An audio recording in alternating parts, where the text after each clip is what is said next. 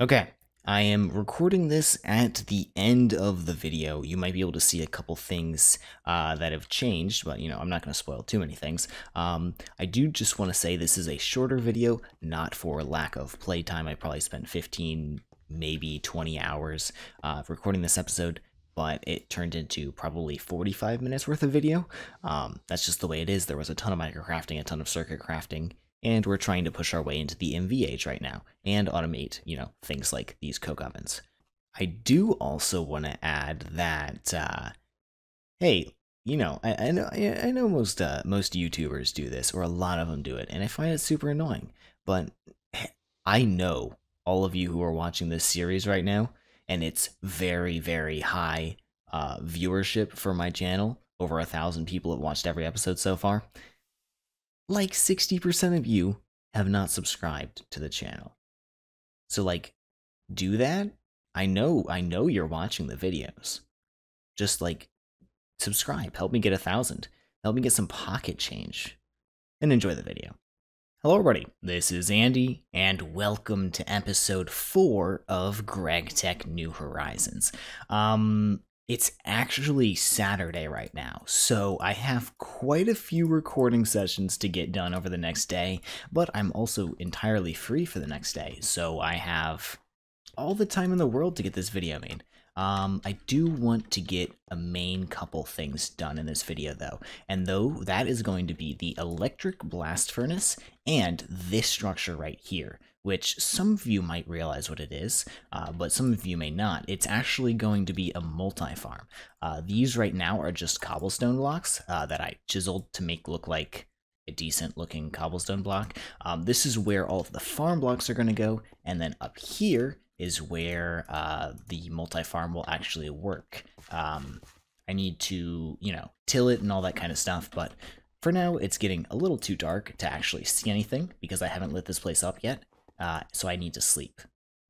I did also expand our platform quite a bit. As you can see, we'll probably use up some of the space in this video, and uh, we're not going to get quite towards the whatever it's called logistics pipes today, but we'll get decently close. Uh, we will definitely break into the MV age, and uh, hopefully we will be able to have some automation going as soon as possible. Um, I need to fill these guys in, but I think I'm actually running a little low on cobblestone. Um, I actually might be almost entirely out of cobblestone, so I can't actually do that right now. Uh, so first things first, let's go... And do I really need to mine? What is first things first? First things first might be to make the carpenter. Actually, I've changed my mind. First things first is the basic circuit assembling machine. This is going to be required to get us uh, easier circuits and get us into the MV age. So let's make this bad boy. It's going to require six seven LV circuits, so I think I'm entirely out of LV circuits. Nope, I got two left. So I'm going to need to make five more, which actually should be somewhat doable. Let me see what resources I already have, and I will come back with the stuff we need to craft. Oh yeah, you also may have noticed I pulled down this house it's not really what I think I want to go for in this area. I think I want to go for a much more factory vibe. That's why I expanded the platform so much.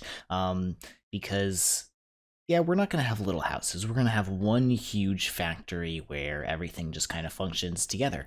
Uh, my favorite thing that was mentioned in the comments of the last episode, you don't actually need these tanks with pumps on them to pull things into the cutting machines.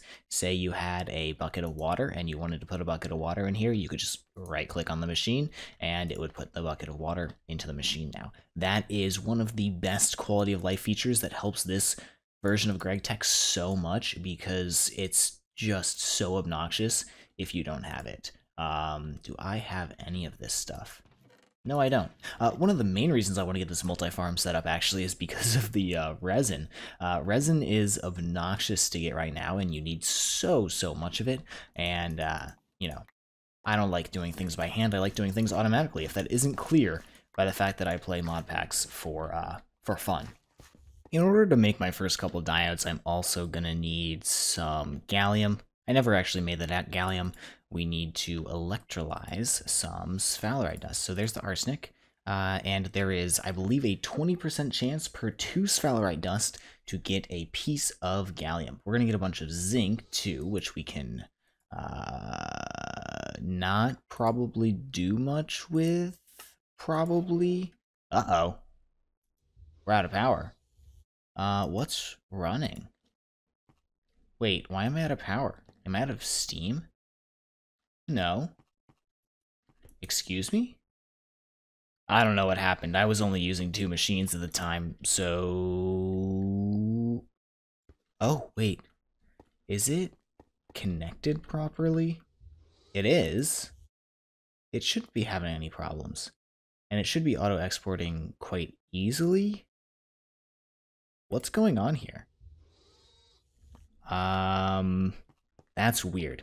The machine's functioning just fine, except it's not exporting properly. Anyways, we have our first couple tiny piles of gallium. I need nine to get one gallium thing for the quest, and then we can mix that into gallium arsenide, which has to be done in the mixer, and it takes 15 seconds, which is a little obnoxious, but I will live. Uh, let me put the other sphalerites in there. I just need to finish one more craft. And wow, I'm getting really lucky with these. And we should be able to make some diodes, which is just uh, not fine annealed, probably just fine copper, and a little bit of glass. In the meantime, I've also finished my last terribly obnoxious craft of these LV circuits. Uh, we can craft them by hand or very soon in the circuit assembler, and we will also get better recipes for this once I have the a little bit more infrastructure, a couple more machines, and we can set up, you know, some some small little baby like kind of semi-automation for the electronic circuits, and then we can begin making some of these. Uh, these can be made in the circuit assembler for slightly cheaper, it looks like.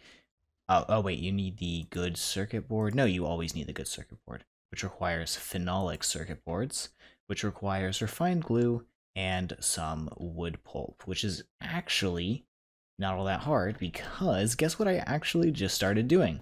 Uh, making a little bit of refined glue like, like right here. Um, so yeah, that comes in handy. You know what? Actually, I think since this refined glue can't be made in uh, an a fluid extractor, um, I'm, I'm probably going to make a second assembling machine. So we'll have one assembling machine here for the fluid extracting recipes and another one over like maybe here to pull in the refined glue and make circuit boards and stuff out of. That should be useful. Let me, wait, refined glue in assembling recipes. It is 52 of them, so it'll definitely come in handy down the line. And I guess this is a cheaper recipe for water tanks, huh? Oh, yes, we also use refined glue in the resistor recipes, which are super handy. Wooden fluid pipe, don't need to do that. We, we will use refined glue throughout the pack. Ooh, Brain Tech Aerospace Advanced Reinforced Duct Tape. This stuff is pretty cool, actually. We'll probably make a bunch of it throughout the pack yeah, having a refined refined glue assembling machine is going to come in handy.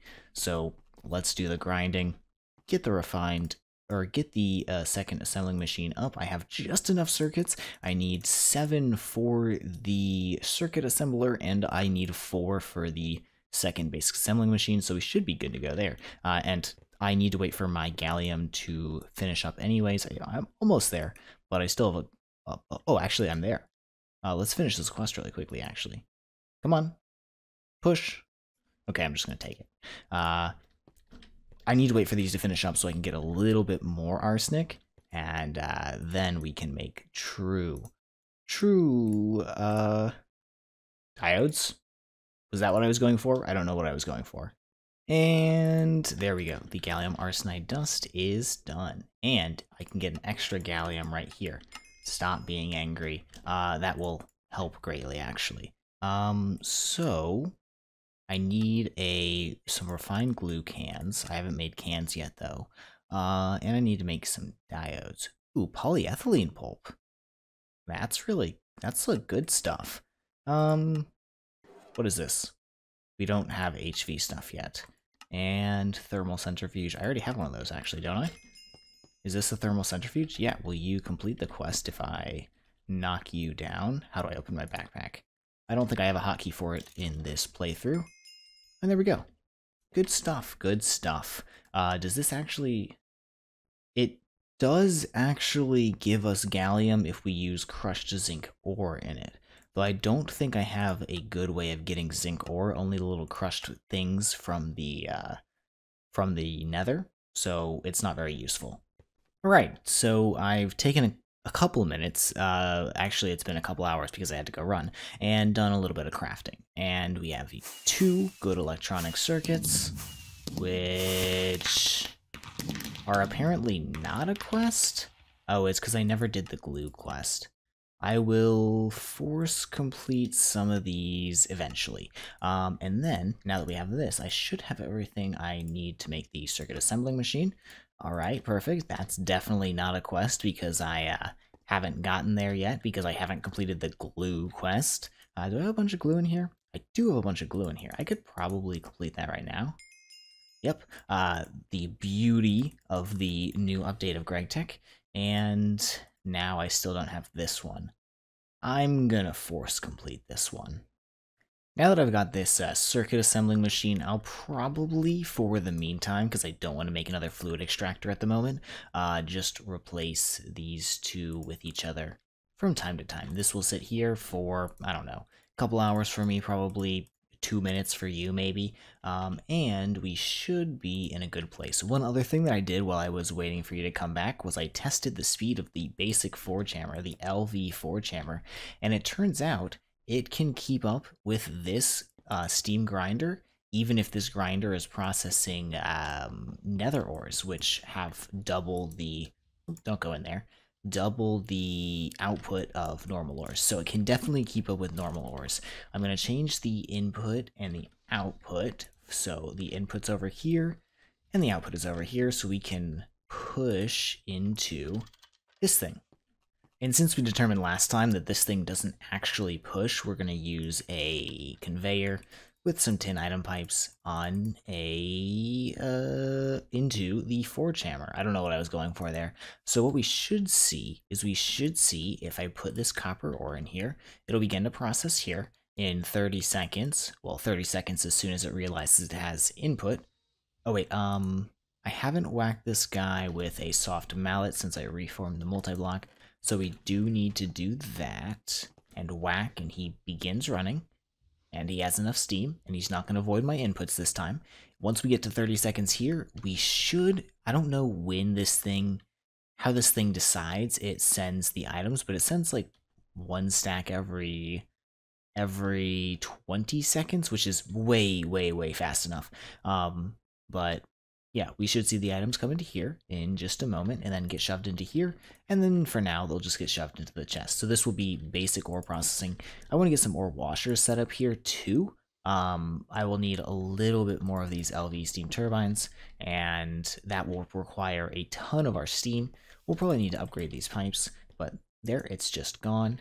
And and there we go. Okay, perfect. It does work correctly. I've set the uh, conveyor right? And this will just run, make me more copper. I need more copper because I'm actually running incredibly low.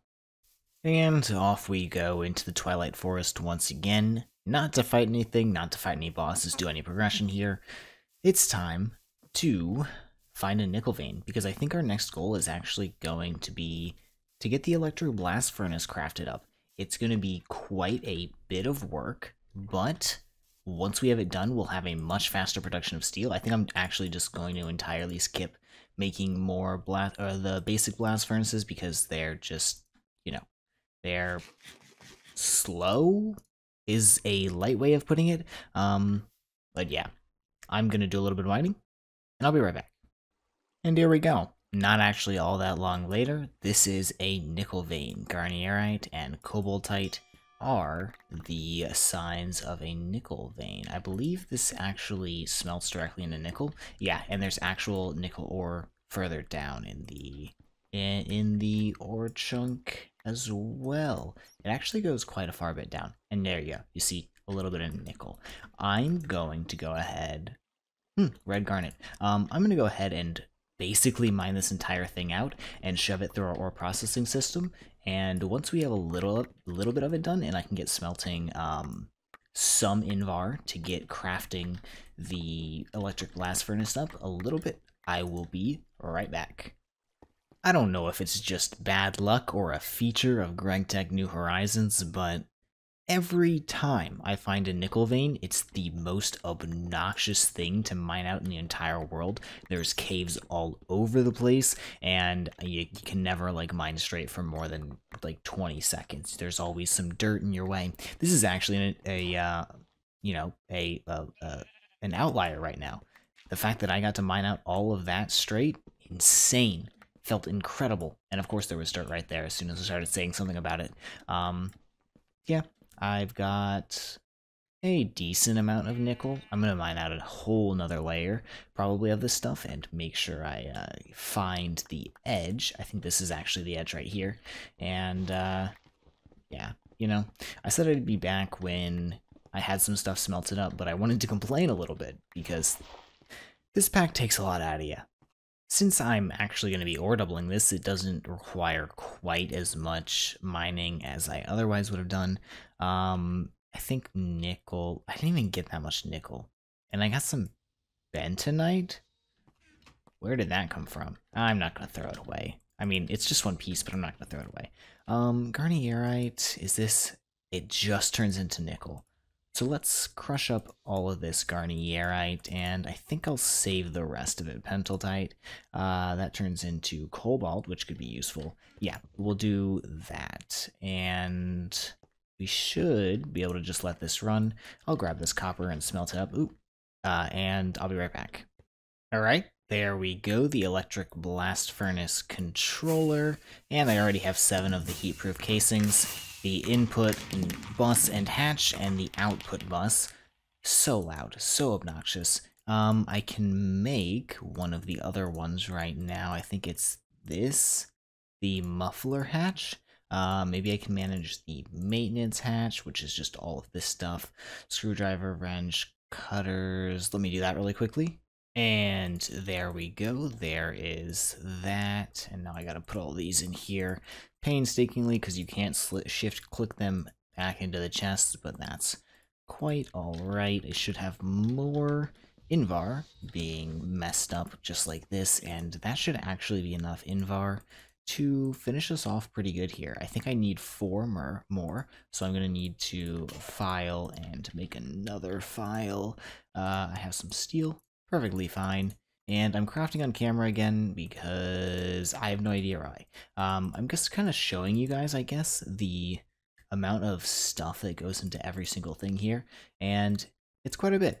It's tedious, but you know, you've got to do it, and it can be quite fun. Okay, there's all the Invar plates, wrench, hammer, and the four more heatproof casings. The quest only wants 11 in multi-block goals, so hopefully that'll just be enough. And it says we've gotten most of the things so far. The ones that are left, though, are the really hard ones. So we should probably get started on Cupronickel Coils as soon as possible, and the LV Energy hatches are quite a bit of crafting as well. Not hard crafting, just, you know, I have to make some lubricant, which means I'll have to distill some stuff, make a distillery, can I make a distillery? Oh no. Can I make a distillery? Okay. I can make the distillery. The brewing machine is the one that I don't like. Wait, is distillery a reasonable way to make lubricant? Hold on. Or am I going to have to get... Wait, I can't even get into Thaumcraft yet. Uh, yeah. Brewing machine doesn't... Or brewing stand doesn't have a recipe. Because it needs the Thaumcraft recipe. So, this isn't an option. I guess distillery is the way we have to go. But let's get working on the Cupronickel coil blocks first because the crafting for these things will take a significant amount of time. Actually, I should probably start smelting up some Cupronickel too, which is it's just copper and nickel, um, so it's not that bad. But you know, you do need a lot of it. Um, so what we need to make Cupronickel coil blocks is either aluminosilicate wool, which would be obnoxious to craft up, um, but you can actually make mica insulator foil entirely at LV. Uh, for some reason, I thought before it required an MV step, but it doesn't seem that way. Maybe it used to be that way. I don't know. Um, but we need to make the mica insulator soil, which foil, which requires a bending machine. Easy, we have that. we need an alloy smelter with silicon dioxide. Easy, we can make silicon dioxide quite simply. We need mica-based sheets, which come from forming, pressing, mica-based pulp, and asbestos. We have a million pieces of, of asbestos that we're not using. Mica-based pulp needs a mixer with mica dust and sticky resin. Mica dust comes from the mica ore, which is found in kyanite veins. Uh, this is, wait. Oh, this is overworld? Okay, yes. I'm pretty sure I have kyanite veins. Let me check my my uh, journey map, but I, I'm pretty sure I have a kyanite vein. Okay, so fun thing, I just spent a million years explaining that process of getting um, the cupronickel coil blocks from Ky kyanite vein, from mica. Um, I have found no kyanite veins, just kaolinite veins. So, yeah. I'm going to go search for a kyanite vein, which is apparently incredibly rare, and this is all because I don't want to use the aluminosilicate wool recipe, because it sounds terrible. So let me go do a little more prospecting, and I'll be right back. And, uh, here we are, everybody. This is a kyanite vein. Uh, there's probably some mica around here somewhere. I haven't dug it out yet. My inventory is entirely full. My miner's backpacks are entirely full of small things I picked up along the way. This is what my um, my prospecting thing looks like. So initially we had 81 things here. I prospected all over here, up through here in the places where there wasn't water, all of this, and then was coming over here to start lines this way. And this is the first kyanite vein that I came across. I almost assuredly have one of every single type of vein in the overworld. Uh, I got found some tantalite veins, which will come in handy once we get into uh, Ender IO. I'm just glad it's over. It's been like an hour. I know it was like a second for you guys. It's been like 45 minutes to an hour looking for this. And straight up, as if the world is playing a cruel joke on me, I fell into a lava pit directly below the kyanite vein. I survived because there's the water right there, but come on, dude. You're just playing games. This sucks. And you know what else just actually came to my attention? I didn't spend 45 minutes looking for this stuff. It's been like two hours.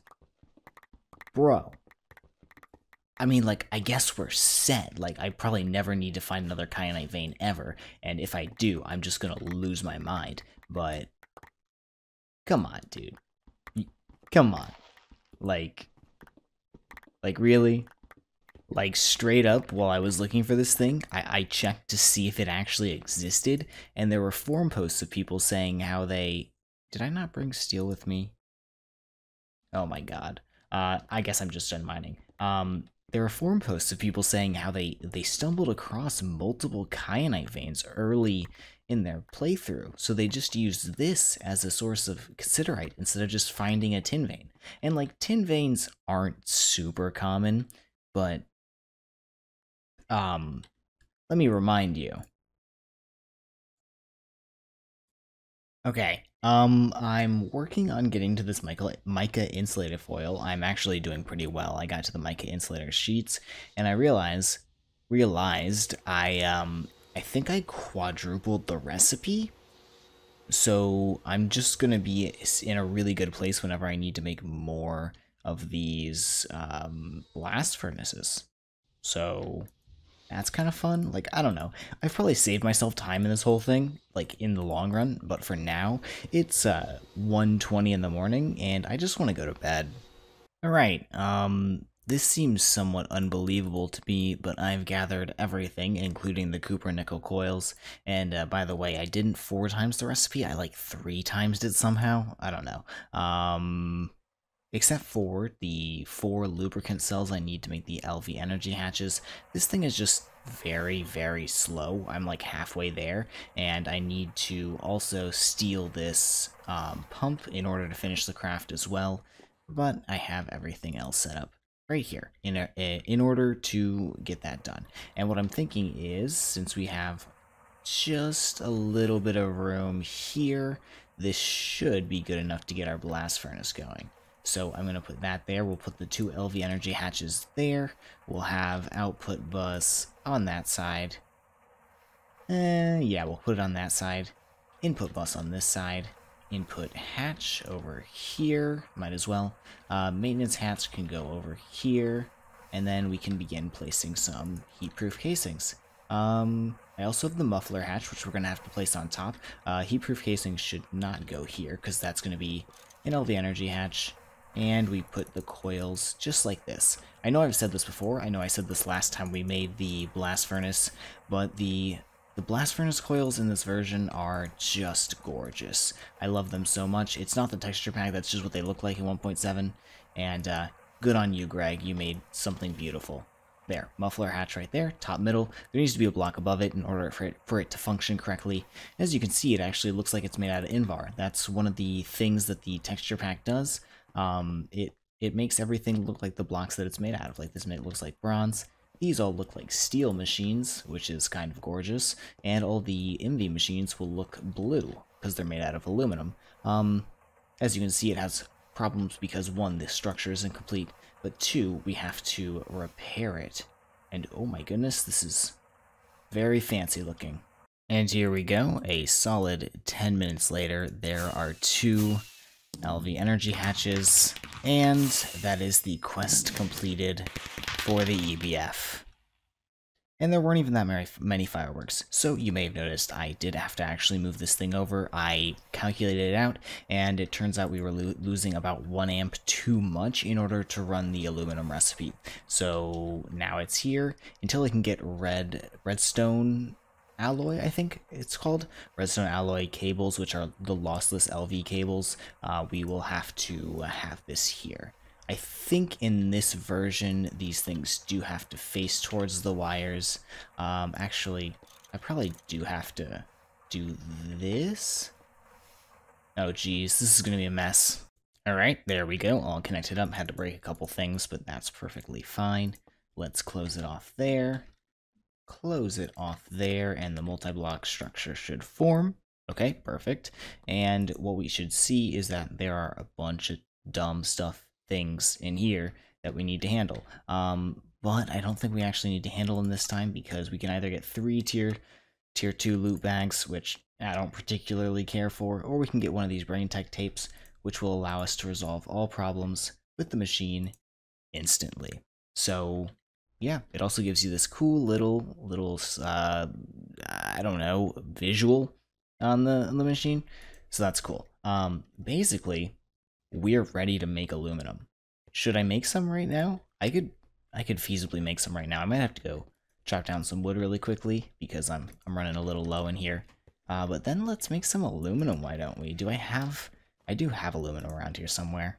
I'm going to need to make some more steam turbines because I had to steal the one that was over here powering this basic forge hammer, but we have four of them here. That's all I've made so far. Um, I can support six right now with my current production. Um, so yeah, if I put this in here, we should produce enough power to have no issues producing some aluminum. I am going to probably have to whack it with a soft mallet, which I have one in here. Perfect. And it said disabled. It's looking at this steel fluid pipe though, so it's not seeing what I want it to see. Uh, this is just a terrible place for this thing. Uh, machine machine processing enabled. It hasn't started yet, but maybe it'll figure it out in a second that it has aluminum in here. Come on. Come on, figure it out, bud you know what, this one's actually on me. I'm tired enough that I just quite literally can't read, and I'm sure you can hear it in my voice, but it does need a program circuit of one in order to begin running, and might have just voided, might have just voided that. That would be unfortunate. Uh, turn the power on, and did it, yeah, it did just void one of my aluminum. That's super obnoxious. It voided another one of my aluminum. Wait, what's going on? Turns out you actually need to hook up steam turbines in order for them to produce power, but I don't know if that was the issue per se. Um, I feel like it shouldn't have turned off that fast, but let's try turning it on again. And it's going to take 65 seconds. And it looks like it's actually working this time, so that was probably the issue. the main thing I think we're going to see is that we can't actually quite keep up with steam production for four of these. They take 1600 liters per tick and, or per second, and we can only transfer 4800 liters per second. Actually, wait, we're doing fine. Did you shut off again? You shut off again. Okay, not going to worry about this right now. And I'm also going to stop voiding my aluminum. So that is the end of this recording session. It's very long. It, it, was probably like a seven hour recording session, but we've gotten uh, at least one good thing done. We kind of set up some more processing, kind of, maybe, kind of. I'll see you guys in the next one. Hopefully, we can get this farm running so I don't have to chop trees manually anymore because, ugh, I just want to automate stuff. Alright, it's the next morning. I'm sure I have morning voice, but I've just done some chores in the in the game, not in the house my chores are all done in house, I promise. Um, but I needed to make some more circuits, get my steel cooking again, and uh, that's about it, actually. Uh, I did throw a couple of the farm blocks that I've gotten from loot bags over there, so we just need to make the farm gearbox and a bunch of these farm blocks. I should now have everything I need to make that. Oh, I do need to begin cooking up my uh, nether quartz again to get some lithium because I'm going to try and make lithium batteries. In order to make battery alloy, I actually do need some antimony, which I believe pretty much only comes from stibnite, uh, which is in the tetrahedrite vein that I found a long, long time ago. So I'm going to mine this thing up just a little bit, probably not too much because I, I don't know. I've done a lot of mining this episode. I feel like, well, I haven't done a lot of mining. I've done a lot of prospecting this episode, but it feels like mining. So I'm going to do the bare minimum. And does that mean that's the bare minimum? I think I need to do slightly more than that. Okay, here we go. The basic canning machine. I've got my stibnite, or whatever it's called, uh, being processed up here. Looks like it's... Eh, I don't have a forge hammer right now. I'm going to have to use this forge hammer from this place. Alright, so I did a little bit more configuring. There are battery buffers back here now. And as you can see, they... Ooh, maybe I didn't let this one fill up all the way. Whatever. Uh, I just, I've made seven pieces of aluminum so far. I need two more, and those are being smelted up right now to unlock the MV quest line. The first thing we want to make in the MV quest line is the advanced electrolyzer. But before we get there, I think we should make some of this potin stuff. Um, I don't know if that's exactly how you say it, but it's how I'm going to say it. We need a, I'm going to make two and a half stacks of this stuff. So I need a stack of bronze, stack of lead, half stack of tin, all in dust form. And I'm running low on tin. Good thing I found like eight tin veins when I was uh, looking for the kyanite. Alright, I just collected these two aluminum and that should complete this quest right here, and it opens up one more quest, the low voltage transformer. We're to need this to transform our power from LV into MV and uh, get some machines running. Like I said, we will probably just directly connect it up to this, and I'm to need to make a couple of the circuits. Alright, so this actually isn't that hard of a recipe, it just takes a little bit of microcrafting. So there's the carpenter, and then once I have the carpenter, I'm going to need a little bit of molten redstone in it and uh, these things. So I'm going to need to make some coils, another tank, but I can do that really quickly because we're going to need the thermionic fabricator in order to make the... These guys? Yeah, these guys. Okay, so you can set the carpenters or basically any RF consuming machine directly against these GregTech wires in this pack. Um, they convert directly in between each other. So as you can see, I have most things for the recipe in here. This becomes a valid recipe, and once I put this in there, it should begin crafting and consume all of the items. You need the work table up here. This is like the item that becomes this along with this stuff. And then a fluid for most of the carpenter recipe recipes. Uh, do I actually need a fluid for... Yeah, we need creosote oil. Interesting. So there's our thermionic fabricator. Um, I think the carpenter is going to stay there for now. The thermionic fabricator actually makes its own fluid in the form of putting sand in here. Once it heats up, it will turn that directly into liquid gas. Or glass. What am I saying? Um, So I'm gonna need a couple of farm gearboxes. Doesn't look like there's anything fancy. I'll probably do the stone bricks version. Uh, that. And farm blocks will also be the stone bricks version, which is right here. Alright, a ton of microcrafting later, but I'm finally getting the thermionic fabricator going to make the two sets of bronze electron tubes that I need. As soon as it reaches this point, it should melt the sand and begin the craft. I think you can also just shove glass into here, but I don't really want to do that. That would require me to move my fluid extractor and all that. Nah, this thing can melt its stuff itself. I think it I think it melts its stuff itself. Come on. Get there, buddy. Okay, yeah, there it goes. And it just melted all of it. And it completes the two bronze electron tube crafts. There we go. And I'm going to invalidate this recipe because we want to make a bunch of these apatite rods as well. I think I want to make 16 crafts of this for a total of 32 apatite electron tubes, which means I'm actually exactly where I want to be. I have everything I need to make this craft. I just need to make these apatite rods into the long rods using a hammer. And let me just tell you, this this episode is, has included an incredible amount of microcrafting, and it might be a shorter one because the, you know, it's just been so much microcrafting. But hopefully you'll see the progress. I'm also just now finishing off this potin stuff, the potin fluid pipes. Uh, I, they don't, I don't think show their backflows, but I need to disable the input from the front end of each pipe as well. And I'll just go back and make sure it says input disabled and not something different throughout the entire chain here. Because I don't want to mess this one up. And here we go, our first couple of farm blocks. I guess these farm blocks do require stone bricks.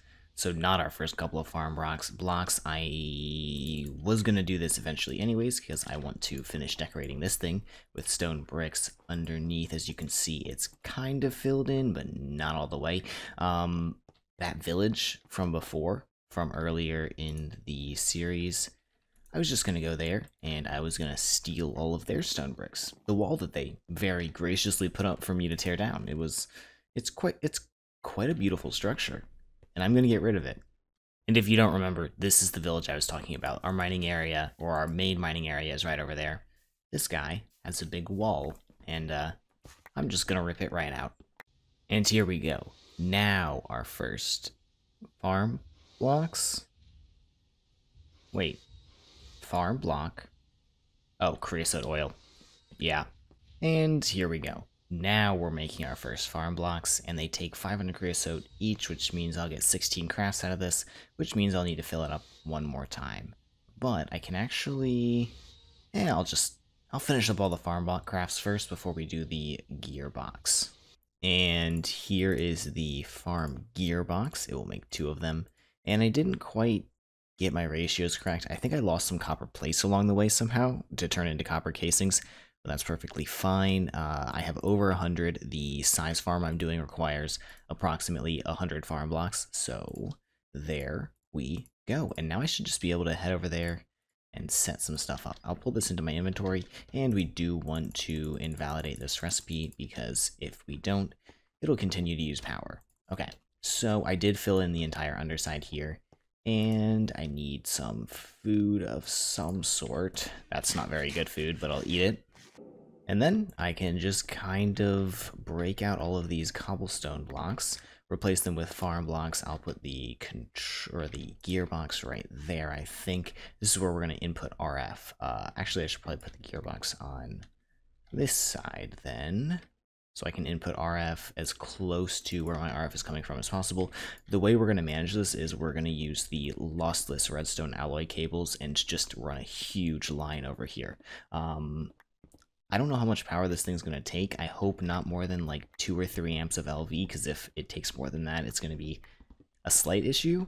Um, but we can upgrade our power soon anyways. It'll require me to upgrade my pipes over there once again from the potin to something more, but we'll we'll cross that bridge when we get to it. We now have, since we have the electric blast furnace, an easy way of getting steel, so we can probably craft up, especially once I have the lossless pipes, just like a thousand pieces of steel, no issue.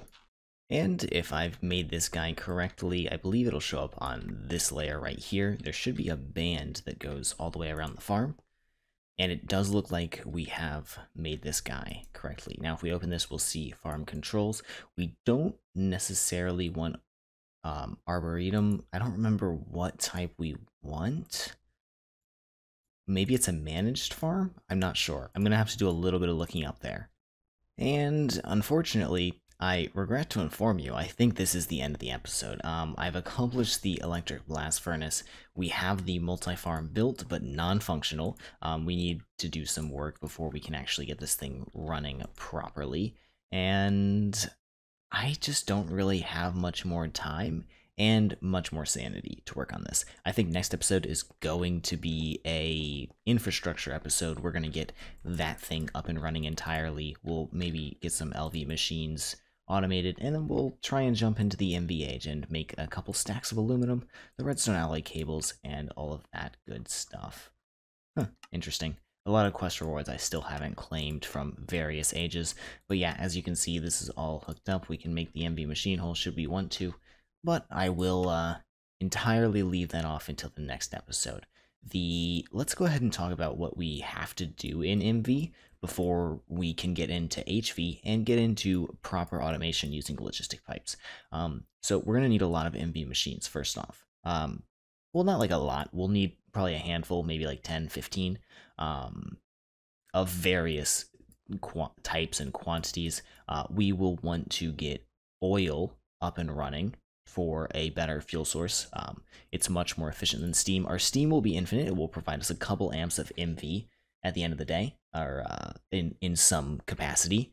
But the oil will be much much more energy dense and useful. Um, the main challenge of the MV age is to get polyethylene, fully automate polyethylene, and make the HV circuits in order to make um, you know everything required to make stainless steel and to get into the HV age, which is our main main goal. I want to get there as soon as possible because I think once we get stuff automated using logistic pipes, uh, one, we'll be able to very easily switch over to Applied Energistics when we have the power to do so. Um, and two, it will just save so much time for me.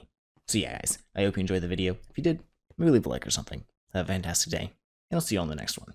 Take care. Bye-bye.